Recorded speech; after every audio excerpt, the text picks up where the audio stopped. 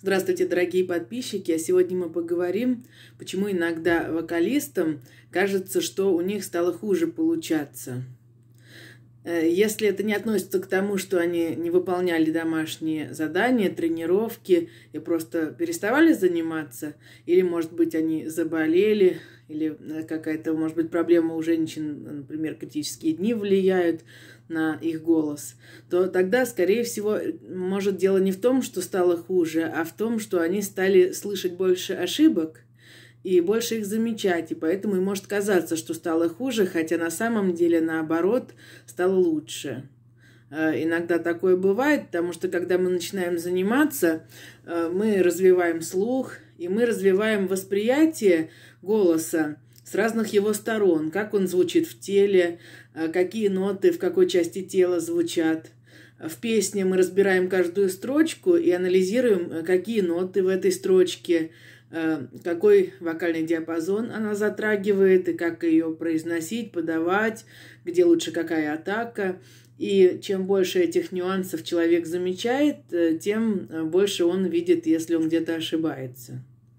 Это в целом также, может быть, кто-то эмоционально воспринимает процесс обучения, если э, нету постоянных подбадриваний, похвалы, ему тоже может показаться, что стало хуже. Но это не так, конечно же. Просто когда входишь в рабочий процесс, то чаще стараешься больше пройти материала, чем э, отвлекаться на просто разговоры или на то, чтобы хвалить. Э, или, может быть, подразумевая, что человек и так уже понял, что у него получается и прогресс есть. Так что, если вдруг вы с преподавателем занимаетесь и вам кажется, что стало хуже, не нужно делать резких выводов, что действительно стало хуже. Может быть, это просто дело в вашем восприятии, или, может быть, вы бы хотели, чтобы вас чаще подбадривали, и тогда бы вы чувствовали, что стало лучше, но ведь от этого же не зависит результат. То есть результат зависит от того, поняли ли вы, в каких моментах у вас были ошибки, поняли ли вы, как их исправить, и умеете ли вы контролировать и слышать это в процессе пения. Если да, то тогда вы и сами поймете, стало ли хуже или лучше, потому что вы услышите, где вы не попали, где не дотянули, где не взяли дыхание, где что-то пошло не так. А на начальном этапе э, человеку может просто казаться, что что-то пошло не так, но что он может не понимать, потому что э, может не слышать и не знать, как это объяснить, либо он слышит, что вот голос срывается, хрипит, а какая в этом была причина, непонятно. А, ну, о причинах каких-то ошибок это мы поговорим в других видео, где мы детально рассмотрим каждую из них. А тут просто я хочу сказать тем, кто действительно занимается и делает домашнее задание, распевается каждый день, занимается с преподавателем, а, не стоит стараться ожидать каждый раз какого-то головокружительного успеха, потому что прогресс всегда идет постепенный, поступенчатый. Э, сначала одни ноты открываются, потом другие.